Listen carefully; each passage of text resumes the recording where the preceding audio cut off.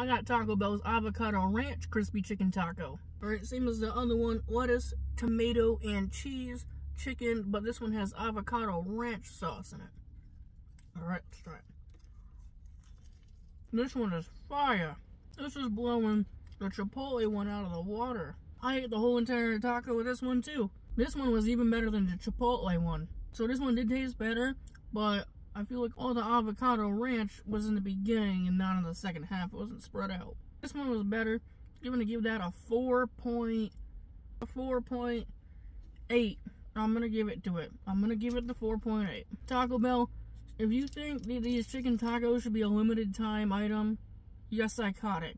They should be on the menu all the time. Same with the caramel apple empanada, but took it away. I want to see Taco Bell bring these back permanently.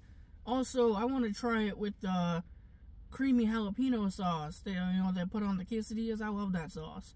And then even try it with the enchilada sauce, the, you know, the red sauce or whatever it's called. This chicken taco is so good. I want to try it with more sauces. And if I had the munchies, I'd probably eat 10 of them in one sitting. If you haven't tried it yet and your Taco Bell still has it, go get it now. You gotta try it. I forgot to mention this in the last video, but they're $2.79 before tax.